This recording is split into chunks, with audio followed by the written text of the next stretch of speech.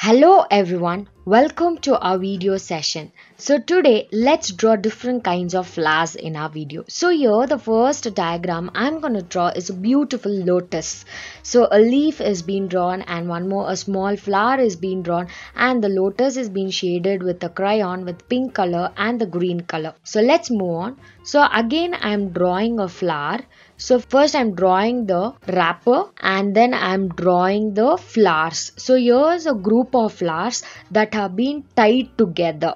So here's a beautiful flower. So I'm draw the leaves and the wrapper is being drawn and then let me put some shades with the green color and then with the green leaves and then with the pink leaves is being shaded. So let's shade them with one by one slowly and the wrapper is being shaded with yellow sketch. So use the beautiful flower wrapper.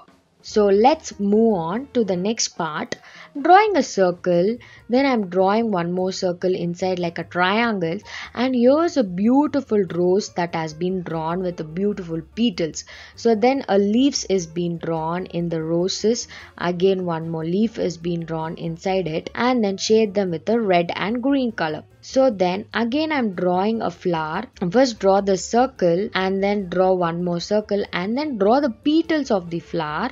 Here the flower will blossom. Then draw the down part and draw the leaves. So let's put some shades to it with the pink and the green color. So let's move on. So here I'm drawing the small petals and shading them and again one more small petals is being drawn one by one and connected to the bigger petals that the flower is being connected. Flower looks more pretty. It is also called as a nature of the beauty of a flower that makes more wonderful to the earth.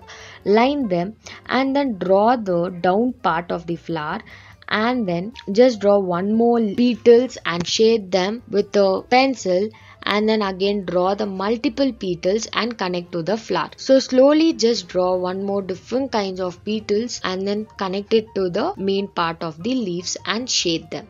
Let's move on. So I'm taking a sheet and folding them and then I'm taking an half part and then drawing the petals and then drawing the horizontal and the vertical lines using a black sketch. Then draw the leaves and again draw one more leaves and then open the paper and then draw the eyes and the nose and the lips. So here a butterfly is being drawn. So the image looks like a butterfly sitting onto the flower so let's move on. I'm drawing a circle and then drawing the petal of the flowers one by one. Slowly it's been drawn.